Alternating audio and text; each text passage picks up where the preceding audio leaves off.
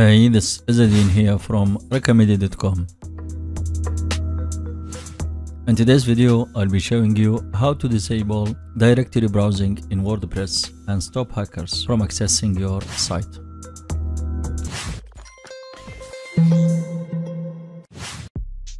Welcome back.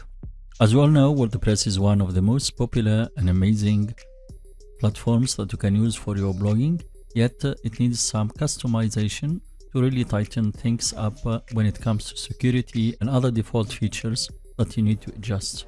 If you are looking for ways to boost security, then one area that you should consider is by blocking people from being able to browse your directory files, or what we call disabling directory browsing. In fact, your site directory files are on display for anyone in the world to find it if they know where to look, and they are easy to find.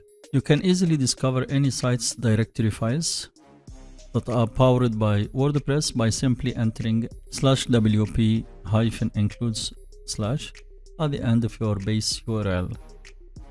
If you do this to your site, if you take the example raqmedia.com, so just paste in the wp includes and hit enter.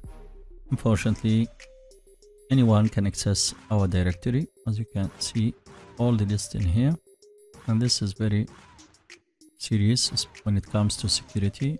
And that's one of the open doors to hackers. If you want to prevent that uh, from happening then there is a simple fix which is to put your files under lock and key. The good news for this is that this fix takes a simple line of code but uh, you need to make some adjustments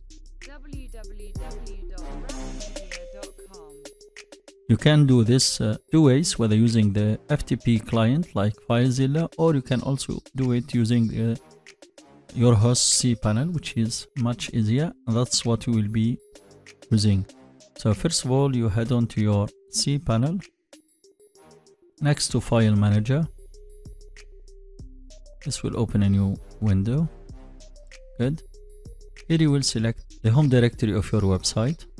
Next, we need to search for the .htaccess file. It may be hidden. That's why you need to head on to setting at the top, click on it and make sure that all files are shown. So just check show hidden files and click save.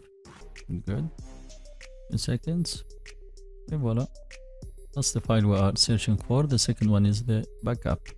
Right click on it and click edit edit to all your settings will be listed in here. And that's the default lines that you will find. All the rest may be added by plugins. So make sure you have begin wordpress and end wordpress. Hit enter. And here we'll paste the line of code that we talked about. Good.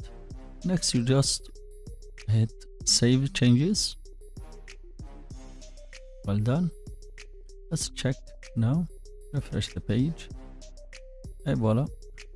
If this is done correctly then you will get a 404 error or permission er, error which is 403 and here we have access to this source on the server is denied. Now you are safe from directory browsing on your site. And with this we have reached the end keep tuned for our coming tutorial. Thanks so much for watching. I hope you have a great day and if you have any comments or suggestions please have them below and subscribe if you want more helpful videos like this. See you around. Thank you for watching. If you like this video do consider sharing it.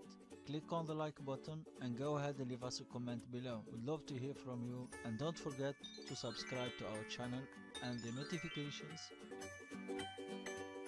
to get the latest tutorials that will inspire, empower and connect you.